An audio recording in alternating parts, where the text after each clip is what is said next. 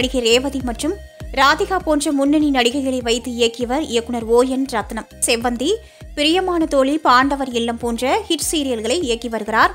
இந்நிலையில் இவருடைய மனைவி பிரியா என்பவர் இன்று காலை திடீரென தற்கொலை செய்து கொண்டு இறந்துள்ள சம்பவம் பேரதிர்ச்சியை ஏற்படுத்தியுள்ளது. இயக்குனர் ஓ என் ரத்னம் பொள்ளாச்சியில் உள்ள ஒரு கிராமத்தை சேர்ந்தவர்.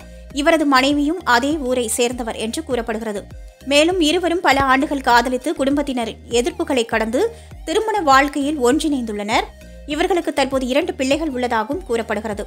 பள்ளிகளுக்கு விடுமுறை என்பதால் கடந்த இரண்டு வாரமாக ஓ என் ரத்னம் பிரியா தம்பதியின் பிள்ளைகள் அவர்களின் சொந்த ஊரான பொள்ளாச்சியில் இருக்கும் தாத்தாவின் வீட்டிற்கு சென்றுள்ளனர். இரண்டு வாரம் கழித்து இன்று காலைதான் பிள்ளைகள் இருவரும் வீட்டிற்கு வந்த நிலையில் அவர்களை அழைப்பதற்காக இயக்குனர் ரத்னம் பேருந்து நிலையத்திற்கு சென்றுள்ளார். மேலும் ரத்னம் மற்றும் பிரியா தம்பதியிடையே ஒரு சிறு கருத்து வேறுபாடு காரணமாக அடிக்கடி பிரச்சனை வந்ததாகவும் கூறப்படுகிறது. இந்நிலையில் கணவருடன் ஏற்பட்ட பிரச்சனையின் காரணமாக மனமுடைந்து காணப்பட்ட பிரியா வீட்டில் திடீரென தூக்கிட்டு தற்கொலை செய்து கொண்டார். மேலும் தற்போது இவருடைய உடல் ராயப்பேட்டை அரசு மருத்துவமனைக்கு கொண்டு செல்லப்பட்டதாகவும் பிரேத பரிசோதனைக்கு பின்னர் குடும்பத்தினரிடம் ஒப்படைக்கப்படும் என தெரிவிக்கப்பட்டுள்ளது.